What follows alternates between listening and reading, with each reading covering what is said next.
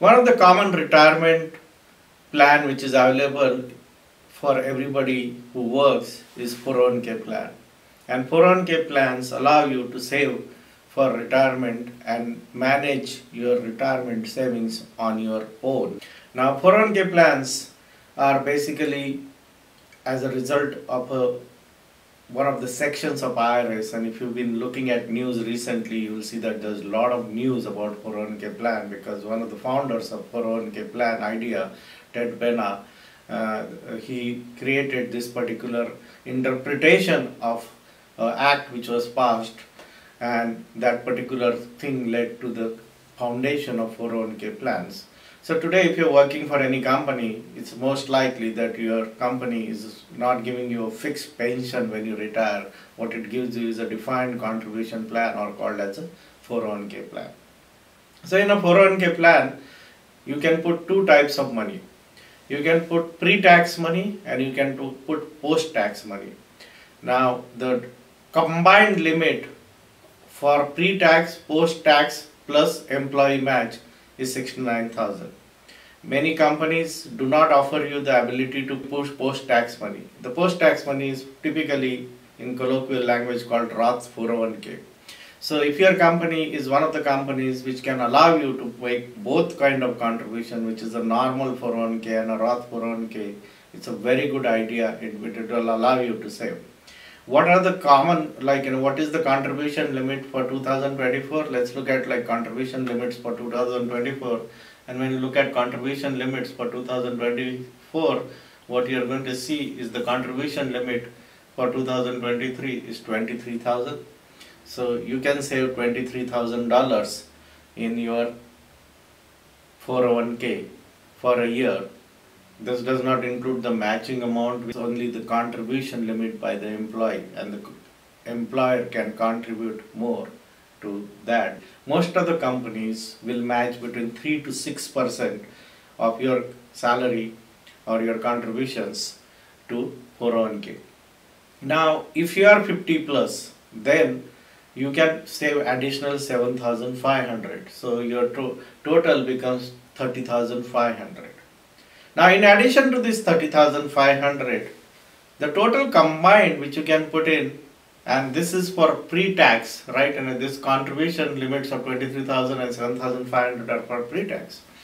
But if your company allows or if you have a plan which allows you to put Roth 401k also, then the combined limit is 69,000 and if you are 50 plus the combined limit will be 69,000 plus 7,500 so you can potentially save a lot of money in your 401k if you understand this particular uh, thing. Now most 401k plans have a company decided set of mutual funds which you can invest in so the company will decide that uh, you have basically these 23 or 24 options in your mutual uh, funds which are available.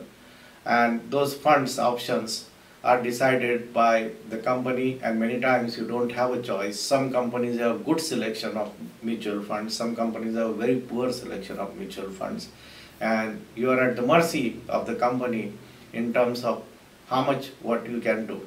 In addition to that, uh, almost all the plans or all plans have also the options of what is called as target date funds and in many plans by default you are put into a target date funds. Target date funds are funds which are basically if you are going to be retiring after say uh, 20 years and it is 2024 so your money will be put into a target date funds uh, 2044 so that means the mutual fund company automatically adjust uh, your allocation as your age progresses. So target date funds are another option which is available in many, uh, most mutual, almost all mutual funds have that options. In addition to mutual funds which are related to equity, uh, all the funds will have an option related to bonds.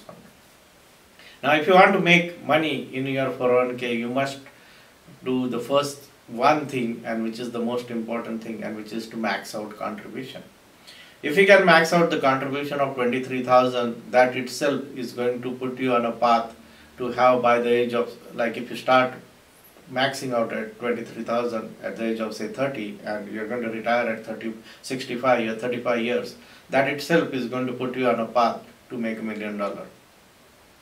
Now the catch-up contribution, if you start making the catch-up contribution of 30,500 and if you do it for 15 years, like say if you're 50 year old and you start doing that contribution and by the age of 65 by retirement, you're also likely to make a lot more money if you can just max out. So my advice would be to max out uh, your total contribution. In addition to that, if you are, it is possible for you or if you have the money, then you should also put additional money post tax if your company offers into a Roth 401k.